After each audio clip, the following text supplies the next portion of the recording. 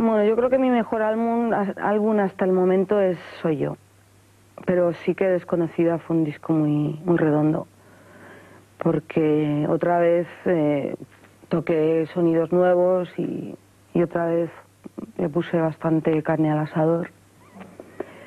Y, yo estoy muy orgullosa de ese disco. Pero bueno, ahora esta soy yo y es como el niño mimado. ¿no?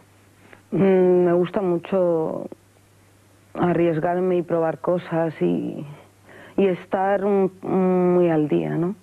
Igual que me gusta llevar eh, el vestido más bonito de moda y estar muy pendiente de lo que es actual, pues en la música igual o más.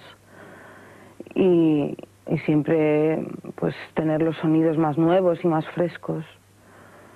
Aunque hay veces que, también lo clásico me llama mucho la atención y, lo que no pasa de moda, pues eh, también se inclina mucho a lo de siempre, ¿no? A sonidos de orquesta y, lo acústico, ¿no?